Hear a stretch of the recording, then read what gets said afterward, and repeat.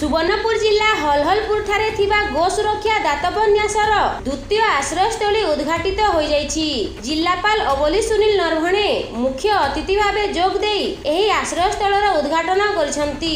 ତେବେ ଜୁନ ଦୁଇ ହଜାର ଷୋହଳ ମସିହାରେ ପ୍ରତିଷ୍ଠିତ ଟ୍ରଷ୍ଟରେ ଶହେ ପଚାଶ ଗୋରୁଙ୍କ ଆଶ୍ରୟ ଦେବାରେ ସକ୍ଷମ ହୋଇଥିବା ବେଳେ ପୁଣି ଜିଲ୍ଲା ପ୍ରଶାସନ ତଥା ପ୍ରାଣୀଧନ ବିକାଶ ବିଭାଗ ସୁବର୍ଣ୍ଣପୁର ରାଜ୍ୟ ସରକାରଙ୍କ ବୁଲା ଗାଈ ଗୋରୁଙ୍କ ପାଇଁ ଆଶ୍ରୟସ୍ଥଳ ଯୋଜନା ଅଧୀନରେ ରାଜ୍ୟରେ ପ୍ରଥମ ଭାବେ ଏହି ଯୋଜନାରେ ଗୋ ଆଶ୍ରୟସ୍ଥଳ ଜିଲ୍ଲା ଟ୍ରଷ୍ଟି ଭଜନଲାଲ ଅଗ୍ରୱାଲଙ୍କ ଆଗ୍ରହରେ ପୁନଃ ଶହେ ପଚାଶ ଗୋରୁଙ୍କ ପାଇଁ ଏହି ସ୍ଥାନରେ ଦ୍ୱିତୀୟ ଆଶ୍ରୟସ୍ଥଳୀ ନିର୍ମାଣ କରିଛନ୍ତି ଯାହା ଜିଲ୍ଲାପାଳ ଉଦ୍ଘାଟନ କରି ଏହି ନ୍ୟାସର ଭୂୟସୀ ପ୍ରଶଂସା କରିବା ସହିତ ଜିଲ୍ଲା ପ୍ରଶାସନ ପାରୁ ପର୍ଯ୍ୟନ୍ତ ସହଯୋଗ କରିବା ପାଇଁ ପ୍ରତିଶ୍ରୁତି ଦେଇଛନ୍ତି।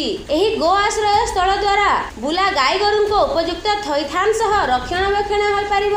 ପୁନଶ୍ଚ ରାସ୍ତା ଦୁର୍ଘଟଣାକୁ ବହୁ ମାତ୍ରାରେ ରୋକାଯାଇ ପାରିବା ସହିତ ଗାଈ ଗୋରୁଙ୍କ ଉପଯୁକ୍ତ ସୁରକ୍ଷା କରାଯାଇ ପାରିବ ଏହି ଗୋ ଆଶ୍ରୟ ସ୍ଥଳ ଉଦ୍ଘାଟନ ସହ ତିନି ଏକର ପରିଦିଷ୍ଟ କ୍ଷେତ୍ରରେ ଘାସ ଚାଷ ନିମନ୍ତେ ଶୁଭ ଉଦ୍ଘାଟନ କରିଛନ୍ତି ଜିଲ୍ଲାପାଳ ସୁବର୍ଣ୍ଣପୁର। ଯାହା ଦ୍ୱାରା ଗୋଶାଳାରେ ଆଶ୍ରିତ ଗୋରୁଙ୍କ ଖାଦ୍ୟର ଆବଶ୍ୟକତା ମେଣ୍ଟା ଯାଇପାରିବ ଓ ଅନ୍ୟ ବାହାର ଲୋକ ମଧ୍ୟ ଏଠାରୁ ଉପକୃତ ହୋଇପାରିବେ।